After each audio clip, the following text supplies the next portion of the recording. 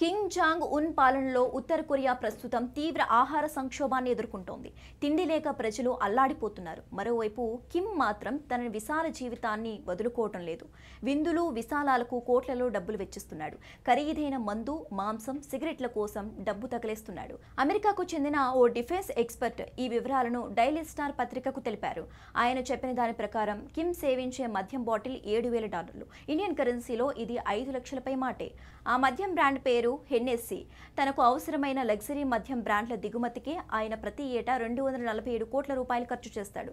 ఈ విషయాన్ని కొన్నేళ్ళ క్రితం Chennai general administration of customs బహిర్గతం చేసినట్లు డైలీ స్టార్ కథనం పేర్కొంది. ఇక కిమ్ తాగే ఖరీదైన సిగరెట్లు ప్రత్యేకమైన బంగారపు రేకుతో చుట్టి ఉంటాయి.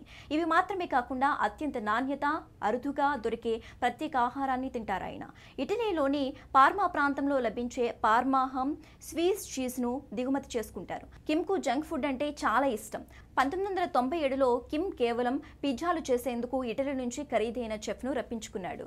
తనకు ఇష్టమైన బ్రెజిలియన్ కాఫీ కోసం ప్రతి సంవత్సరం ఎనిమిది కోట్ల రూపాయలు వెచ్చిస్తున్నారు. కిమ్ అతని తండ్రి కలిసి ప్రపంచంలోనే అత్యంత ఖరీదైన గొడ్డు మాంసం కోబ్ స్టిక్స్ స్టిక్కల్ షాంపైన్తో భోజనం చేసేవారు.